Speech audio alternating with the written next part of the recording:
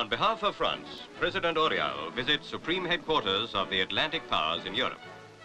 To General Eisenhower, their commander-in-chief, he comes to present the land on which headquarters stands as a gift from France, which has known two invasions in a generation.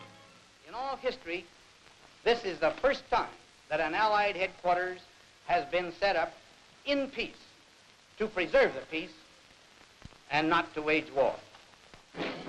From this headquarters, the North Atlantic Treaty Nations planned their security. When war ended, they hoped the United Nations organization meant the end of war. Events proved that only strength born of unity can give reasonable assurance. To that end, they planned.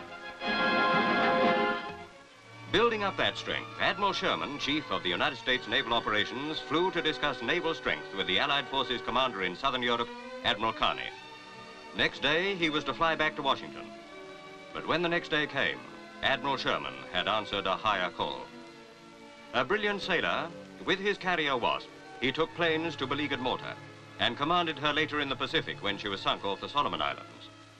During the past six months, Sherman spanned the globe, negotiating in Tokyo, Washington, Spain, and London. We asked much of our great men, and the irony of their fate is that to most of us, they are unknown. The measure of their success is that it is not called to the proof. Peace is not spectacular, and in its enjoyment, we forget men like Admiral Sherman who worked to ensure it.